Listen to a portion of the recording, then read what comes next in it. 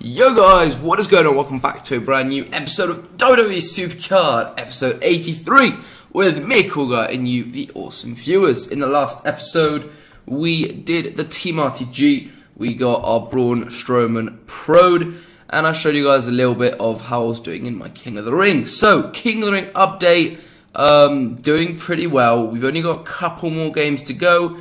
Uh, so I should be okay. I shouldn't be asleep. It's only 4.30 in the afternoon, 2 in the morning, something like that. I don't know. We'll see when it gets done. Um, so I am top seed. I should be, I should go, I should be top seed till the end of it now, like at this point. If we get the win here, we'll have four games. I mean, four, three, three tough ones, and then uh, an easier one at the end. But yeah, let's. We definitely want to finish first. Uh, do I play Dark or solo? Sorry, uh, uh, yeah, I play uh, both of them. Okay, interesting. It's not. I don't know what I said. Stone solo. I don't know what I said. Stone Cold is his name. So I'm playing both of those in the next couple games. So hopefully we win. Apart from that, guys, what else do we have? We have got the preview of the RTG featuring Jack Gallagher, the pro Jack Gallagher, obviously. So let's have a look at what we've got. We've got ultra rare Dolph Ziggler, epic John Cena, a legendary Bray Wyatt, Survivor, Stone Cold Steve Austin, WrestleMania D-Von Dudley, SummerSlam Nia Jax, Harden Dean Ambrose, which is actually quite a cool picture. Like uh, the pic, it, look, it looks like it suits him. It looks pretty good. It looks pretty cool actually. Um, the elite is Kevin Owens, which is not a pro. Well, I mean, I've already pro the Kevin. I've already got an. I already had an. So this doesn't help me out at all catalog wise. Uh, Chris Jericho, I've got a pro of him already, so that is a bit. Um, you know, again, doesn't help me out. Just like in the team uh, RTG, the elite and the ultimate were just things that didn't help me out at all. And then obviously the Jack Gallagher, which we obviously will be getting in this uh, RTG, because I really want the Jack Gallagher Pro. So yeah, that's pretty much that. Uh, let's get a bit of gameplay in here. This is going to be a really short video, one of my shortest, but you know what? Daily Supercard videos, sometimes there'll be uh, things to show, and sometimes there just won't be that much content, because there isn't anything really to show. Uh, RTG, I will be obviously starting tomorrow. You guys will see that in episode 84, as well as my as well as my rewards from King of the Ring. If I get anything less than two elite cards, I will not do it on camera. If it's just one elite card and I get core bumped, I just won't bother showing that. And I'll tell you who I got the the next day.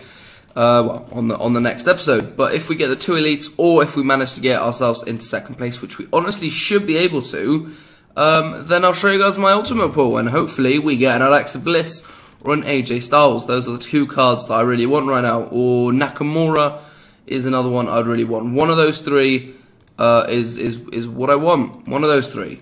Yeah, or Jey Uso, Xavier Woods, Big E.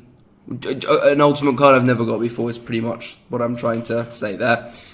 But anyway, Money in the Bank, guys, I can get myself one Bray Wyatt at this point if I want to. I will wait and see what the next batch rewards are before cashing in. If then, if if there's no new tier by then, and I don't like the picture or the wrestler more than I do like this Bray Wyatt, I will go for the Bray Wyatt because I really like the picture, and I think it's really, I really want it. You know, I really, really want it. But if the next ones are really cool, because I probably I won't be able to get a Pro Bray. I'd only be able to get one because uh, I'd, I'd, have to get like oh more than a 1,000 contracts a day, and I just can't keep up with that. I mean, I'm gonna be playing, just no way will I hold uh, that schedule of getting more than a thousand contracts a day. So there's no point even me trying.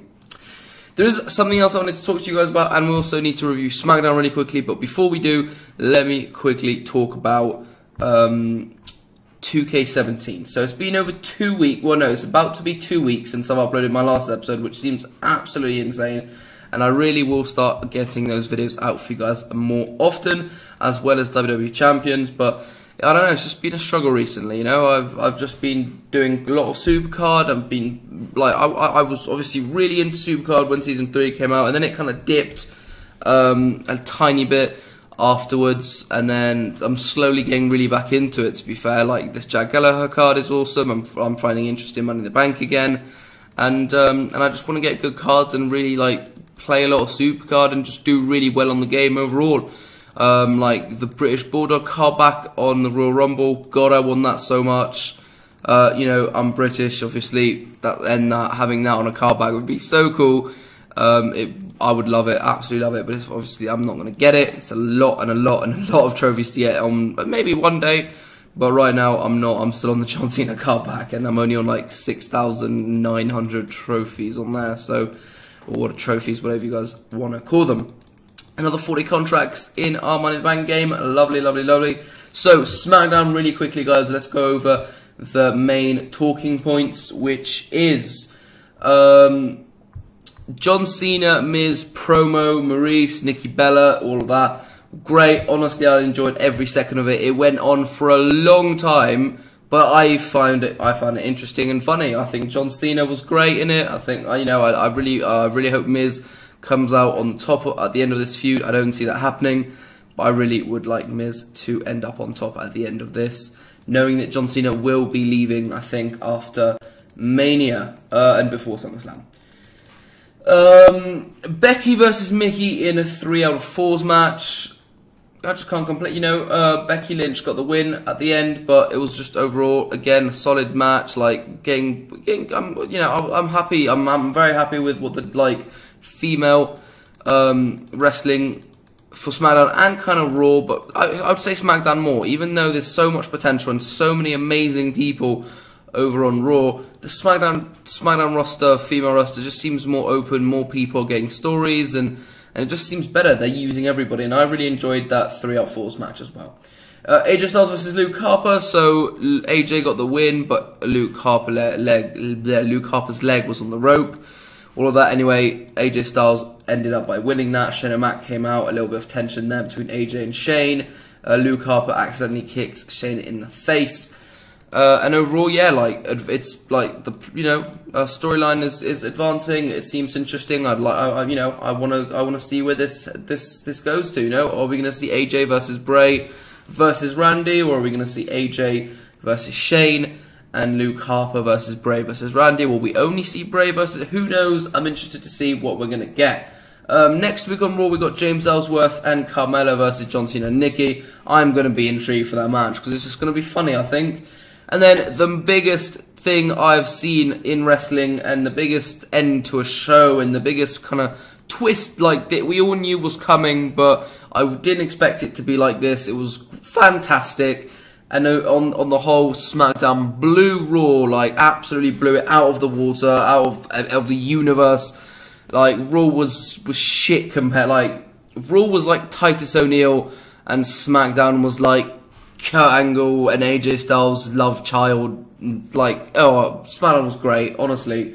SmackDown was amazing, but Randy Orton burns down Bray Wyatt, cabin, sanctuary, you know, Sister Abigail, all of that.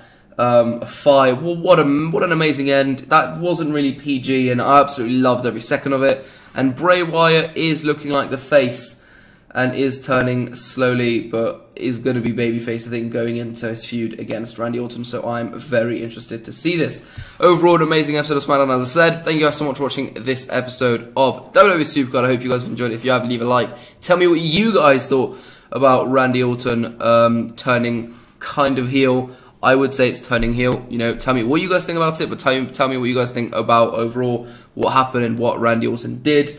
Um, it, it, was it was very interesting to see Bray uh, react to it. We've never really seen him that vulnerable and in that much of a, you know, normally when he loses or he, you know, no matter what, he's always like thinking he's got the win and just always, you know, not really.